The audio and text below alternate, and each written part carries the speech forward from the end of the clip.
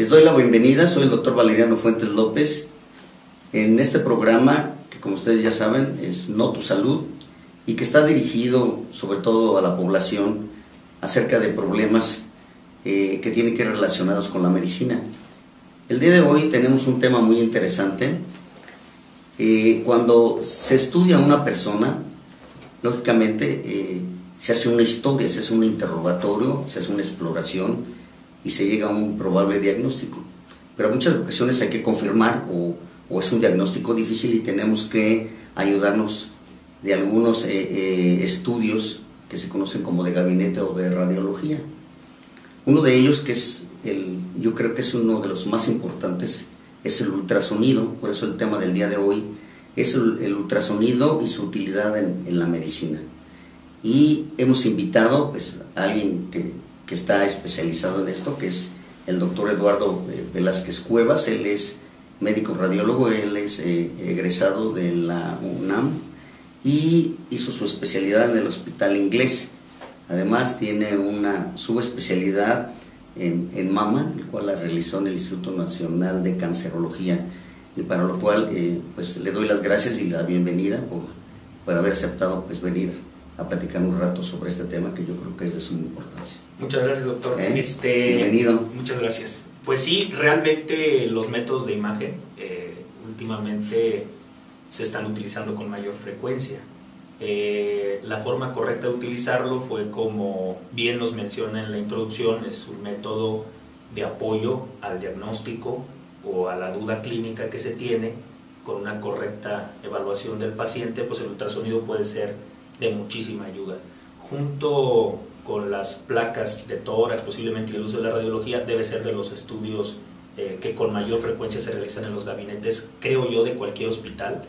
Eh, la, el porcentaje de, de, solicitudes de ultrasonido es, es bastante alto. O sea, como método diagnóstico es sencillo, es práctico, es un método barato, es un método que no implica eh, mayores riesgos eh, para el paciente. Eh, conforme vayamos platicando, pues vamos a darnos cuenta que realmente riesgos no hay ninguno en realizar un ultrasonido.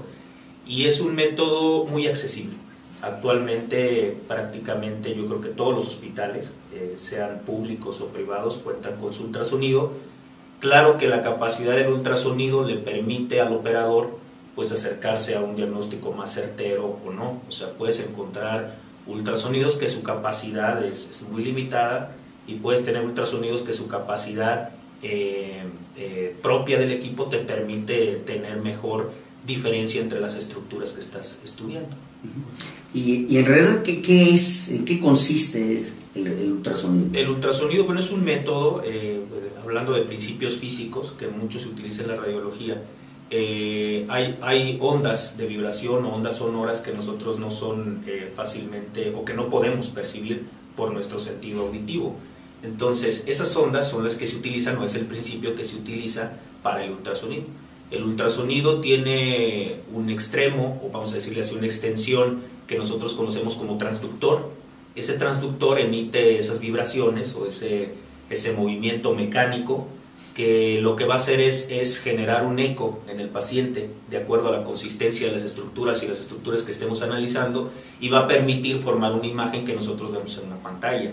Entonces es un método básicamente mecánico a través de ondas sonoras y que forma una imagen. Eso es lo que es un, un ultrasonido. ultrasonido. ¿Cuántos tipos de ultrasonido existen? Uh -huh. Hablando específicamente de medicina, porque sé que el uso del ultrasonido es, eh, es muy extendido el, el, campo, muy extenso el campo, quiero decir. Eh, por ejemplo, lo utilizan en medicina de rehabilitación eh, para dar terapia de rehabilitación a través de ondas de sonido, se ha demostrado su utilidad. Lo utilizan, por ejemplo, en la industria, por ejemplo, cuando se quiere analizar estructuras que no tengan imperfecciones, también lo pueden utilizar. Hablando específicamente del campo de medicina, y si nosotros pudiéramos dividirlo en tipos de ultrasonido, nosotros prácticamente podemos, eh, podemos estudiar cualquier parte del cuerpo por medio del ultrasonido. Y de verdad que cuando digo cualquiera me refiero a, cualquier parte puede ser utilizada. Puede ser, puede ser útil el ultrasonido. Pero en términos generales nosotros podemos dividir el ultrasonido, es el ultrasonido transabdominal, por el cual vas a estudiar lo que es hígado, páncreas, vesícula biliar, el vaso, riñones, todo lo que es retroperitoneo, parte de mesenterio, características generales de las asas de intestino, lo que te permite ver. Tiene el gran problema el ultrasonido transabdominal, la interposición del gas intestinal. Uno de los peores, eh, que, uno de los peores elementos que permiten la transmisión del sonido es el, es el, es el gas que nosotros tenemos en el estómago. ¿no? Eh, ese sería uno. El otro es el endocavitario, eh, que es el que se utiliza frecuentemente, por ejemplo, para tener una proximidad mayor al útero y los ovarios de la mujer, podemos utilizar un ultrasonido que se conoce con el nombre de ultrasonido transvaginal. Y en el caso de los hombres, tenemos el ultrasonido transrectal, que te permite ver de manera más próxima y de manera eh, con mayor definición lo que sería la próstata, vesículas seminales. Te permite ver perfectamente eso. Tenemos el ultrasonido Doppler, que es un ultrasonido que se utiliza por los médicos vasculares eh, para el diagnóstico de trombosis venosa principalmente, algunas veces se utiliza, eh, también utilizado eh, frecuentemente para el estudio de daño al, sistema arterial, ese sería el Doppler, y el Doppler estructural, que sería el Doppler 3D o cuarta dimensión, que está utilizándose actualmente en los estudios de ginecología y obstetricia, y tenemos eh, los ultrasonidos de tejidos blandos o el ultrasonido lineal, que te permite estudiar prácticamente cualquier parte del, del cuerpo. Así es. ¿Hay alguna edad en especial donde se puede utilizar? El ultrasonido se puede utilizar a cualquier edad. De hecho, desde que pues, obviamente nosotros estamos en el vientre de nuestra madre o los niños están en el vientre de, su mami, pueden desde ese momento ser estudiados. Y de ahí el, término de ultrasonido estructural. Los niños recién nacidos también, también pueden ser estudiados con el ultrasonido, adultos, personas de la tercera edad. En sí no hay una edad específica a la cual se puede utilizar el ultrasonido. El ultrasonido se puede utilizar a cualquier edad. A cualquier edad. Muy bien. Bueno, vamos a hacer nuestra primera pausa y continuamos, no se vayan. Los retos son oportunidades, porque de eso se trata. En comunidad, lograr grandes cambios, porque cambiando nuestro entorno, nosotros también nos transformamos. En la Universidad de La Salle Bajío, somos una comunidad que transforma.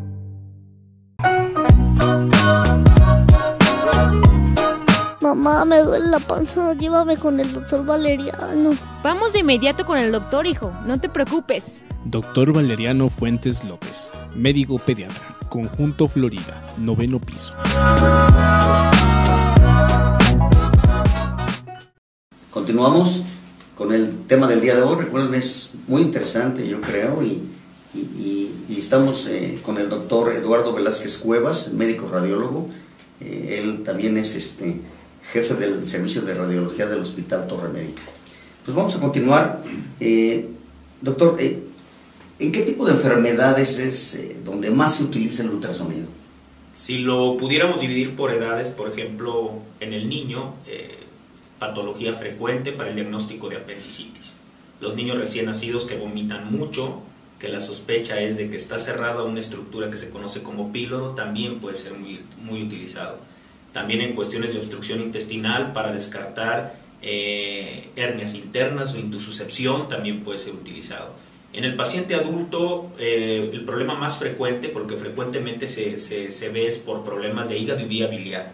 Creo que es un método muy preciso eh, para diagnosticar piedras o litos, o que se conoce así, dentro de la vesícula biliar patología del hígado como tal, lo que puede ser cirrosis, puede ser este, problemas de tipo de hígado graso, que frecuentemente ahorita es un tema muy de moda, que se, está, que se está estudiando mucho y el ultrasonido puede ayudarnos con ese tipo de cosas, patología de páncreas. En la mujer, por ejemplo, es un excelente método para diagnosticar problemas uterinos, prácticamente el que sea, pueden ser lesiones de ovario, lesiones de útero, lesiones de la, de la cavidad uterina y en el ultrasonido de mama. Eh, actualmente está muy utilizado como complemento de la mastografía. Es un método excelente también para el estudio de, ese tipo de, patología. En problemas de ancianos, por ejemplo, igual tenemos problemas de tipo de vesícula biliar, eh, problemas de gastritis, sobre todo para descartar otro tipo de patología, problemas de tipo vascular, como decíamos, el Doppler, el Doppler eh, que es un tipo de ultrasonido, te permite hacer un, un excelente diagnóstico de patología venosa, sobre todo venosa del sistema venoso profundo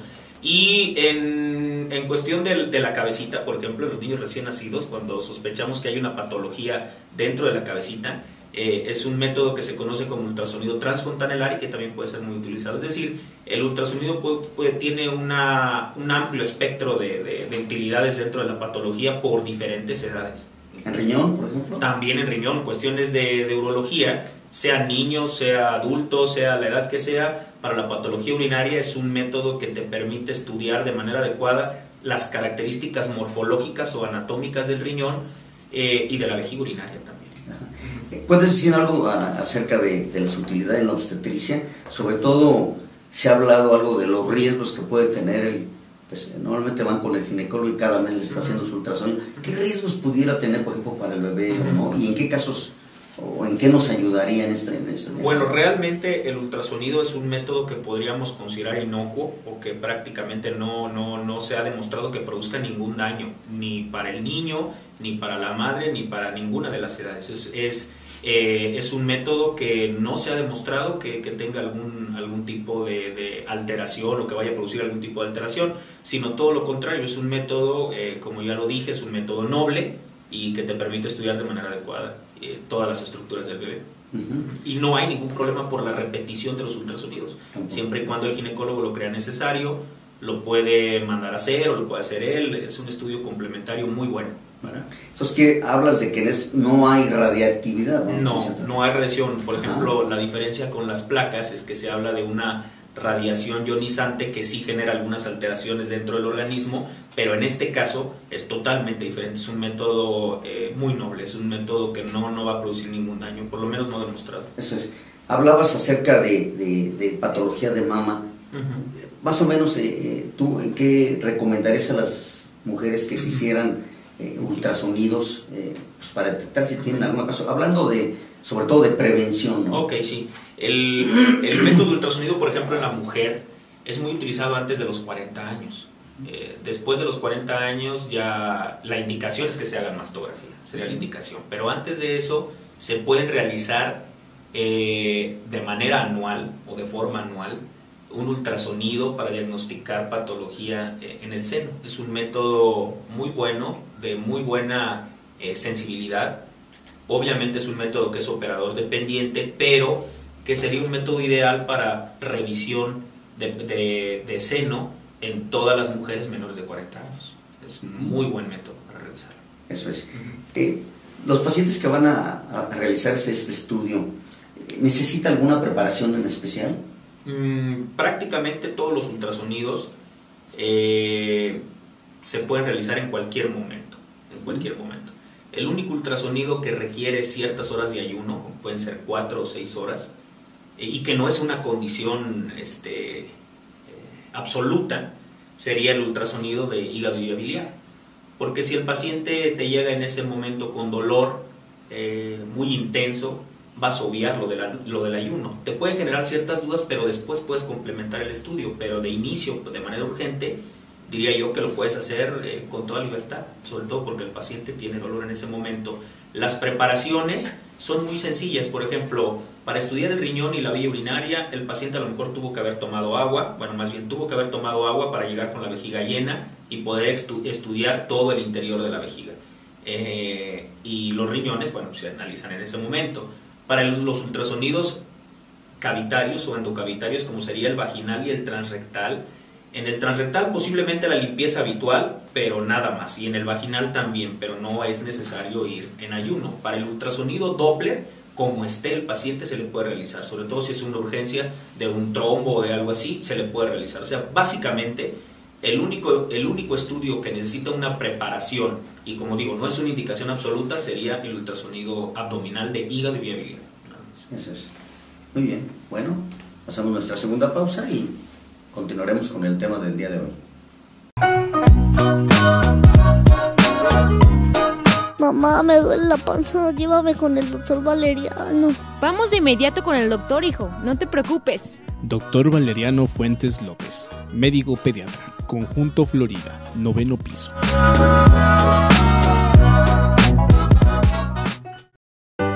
Los retos son oportunidades, porque de eso se trata. En comunidad, lograr grandes cambios. Porque cambiando nuestro entorno, nosotros también nos transformamos. En la Universidad de La Salle Bajío, somos una comunidad que transforma. Eh, continuamos. eh, recuerden, es ultrasonido y su utilidad en la medicina. Eh, quería preguntarle al doctor este, Eduardo Velázquez los costos. ¿qué, qué tan caro es este estudio? Digo, viendo la utilidad que pueden tener en el diagnóstico de la medicina. ¿no? Bueno, es, es un método, eh, como ya lo había dicho, muy utilizado y yo creo que aparte de que es muy utilizado es que es un método muy accesible eh, para, toda, para toda la población. Eh, los costos yo creo que dependiendo la zona que se va a explorar, porque sí hay dificultad para realizar cierto tipo de ultrasonidos, pero los costos oscilan entre los 350 500 pesos. Hay ultrasonidos que se podrían considerar especiales como el de tipo vascular, que sí les puede llegar a costar entre 900, 1000 pesos o más caro. Depende, depende del hospital, depende de la zona, creo yo, y también la zona del país donde se realice este, tiene esos costos. Pero normalmente aquí, donde estamos nosotros en nuestro medio, oscila entre 350 y 500 pesos de manera general. Ahora, mira, te pregunto un poquito de esto, pues no tanto por, en tanto por el costo que la gente se dé cuenta, ¿no? sino también quién lo realiza, ¿no? Porque, Sí. digo, yo me he encontrado a veces en la ciudad anuncios donde te hacen ultrasonidos en 50, en 100 pesos, que, Sí, no. que no sabemos, bueno, a lo mejor no sabemos ni quién lo hace, ¿no? Sí, normalmente... Entonces, por eso la importancia de que sea alguien especializado, en Sí. este caso, ¿no? Que haya eh, hecho una especialidad en radiología, ¿no? Este, la situación que pasa con el ultrasonido es que es un método, eh, creo yo que su principal desventaja es que es un método que es operador dependiente. A lo que me refiero cuando digo que es operador dependiente es que la imagen que tú vas a mostrar es la imagen que tú logras identificar al momento de hacer el rastreo de la zona indicada. Entonces, eh, hay una cosa que yo siempre digo es que los ojos no ven lo que la mente no sabe. Entonces, este, si tú de alguna manera no logras identificar una patología porque no la conoces, eh, la puedes pasar por alto. Entonces, frecuentemente hay errores, puede haber errores diagnósticos eh, en médicos o en personas, porque también lo puede hacer personal técnico, que no tengan la suficiente capacitación. Creo yo que sí es un método que implica mucha responsabilidad, porque quien lo hace debe estar eh, suficientemente entrenado para realizarlo. Ahora, los costos también implica porque muchas veces el material en el que se entrega el ultrasonido es un material de una calidad este, no muy buena. ¿no? O sea, te lo pueden entregar en papel, te lo pueden entregar impreso, pero te lo pueden entregar en una hoja de, de, este, de impresión digital, ¿no? Entonces, donde es más fácil y, mejor identificar las estructuras. Eh, pero sí es muy importante, eh, obviamente en todos los gabinetes de radiología serios, la persona que está como responsable va a estar, eh, este, va a estar la muestra de su, de su eh, capacitación al alcance de la vista de todo el mundo y creo que eso es algo que sí se debe de buscar, que la persona esté bien capacitada. Y certificada, yo creo. certificada también, También sí. es muy, muy Ujú. importante. Eh, ¿Qué nos puedes decir del, del ecocardiograma? El ecocardiograma, bueno, es un método que lo hacen principalmente los cardiólogos, son los que lo hacen. Es, eh, es un método también muy sencillo, muy fácil, necesita un transductor especial, que es esa extensión que les mencionaba del ultrasonido, que te permite evaluar las características morfológicas y funcionales del corazón. Eh, revisa perfectamente todas sus cavidades, sus paredes, sus válvulas, eh, volumen de eyección, volumen, o sea, es, es un método muy sencillo para estudiar mucha de la patología cardíaca, mucha. Y, y para hacer un diagnóstico. Para ¿no? hacer el diagnóstico A veces este, pues trabajo, ¿no? Ujú. Muy bien, y, y, este, bueno, eh, quizás para terminar, ¿qué nos puedes decir en conclusión acerca de, de este método que, bueno, yo creo que es algo muy interesante, el cual, pues yo quería que la gente también se diera cuenta de la utilidad, ¿verdad? Y además que no es algo caro y que puede ayudarnos en, en- en la prevención, ¿no? ¿Qué nos puedes decir acerca de esto? Bueno, yo eh, podría concluir que el ultrasonido eh, es un método que te permite estudiar prácticamente cualquier parte de- de- del cuerpo. Eh, dudaría que no hubiera una que no sea del alcance del ultrasonido, realmente.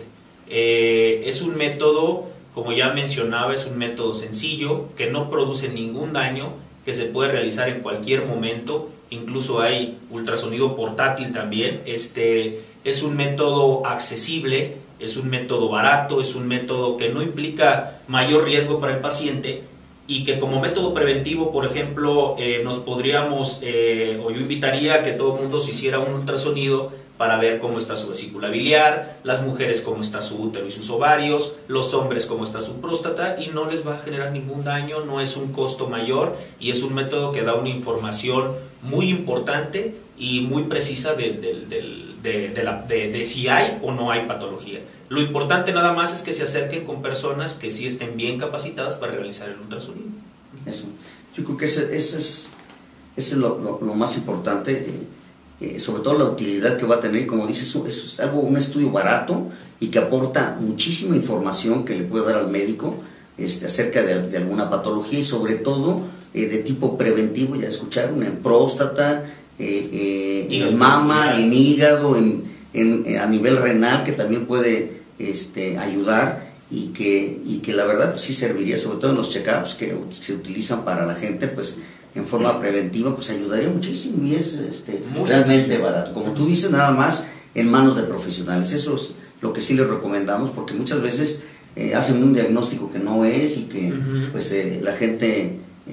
Se espanta. Se espanta exactamente porque le están diagnosticando una cosa que no es. Entonces, pues de ahí la importancia y eso es lo que quisimos eh, eh, dar información a ustedes para que vean eh, pues que este método puede ayudar bastante tanto al médico como, a la gente. ¿no?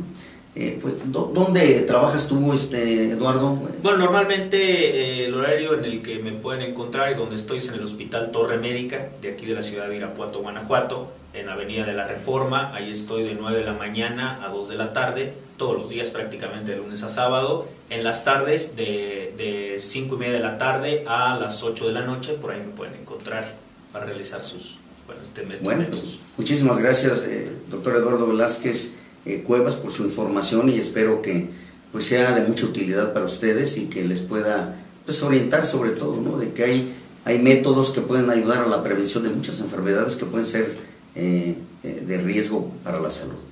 Eh, pues los invitamos a que visiten nuestra página, recuerden www.notos.com.mx y, recuerden, estamos en todas las redes sociales este, para que nos busquen y además compartan, digo esto, pues es información que puede ayudar a todo el mundo. Así que muchísimas gracias doctor y bueno, hasta la próxima, muchas gracias.